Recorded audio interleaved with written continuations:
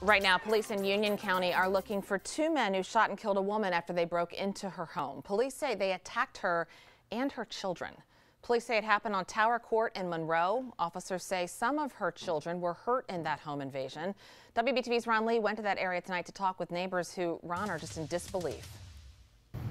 Neighbors tell me they are very worried tonight and concerned that these two guys who have committed such a heinous crime are still out on the streets right now.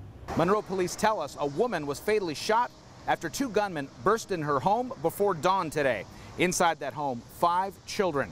Officials tell us these masked men were heard demanding money just before the shots were fired. Two of the children were hurt during an altercation with these men, but at this point, we don't know the extent or cause of their injuries.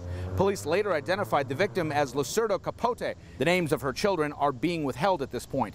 Neighbors I talked to tell me they are a wonderful family, and they are not only bewildered, but terrified that this happened.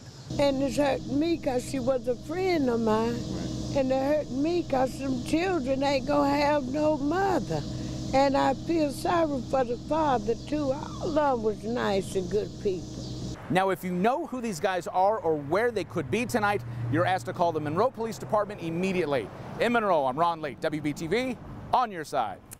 Thank you, Ron. Police say they are looking for two men. Both were covered up at the time. One was wearing a black hoodie, the other wearing a green one. So if you know anything, we know it's a vague description, but police really need help.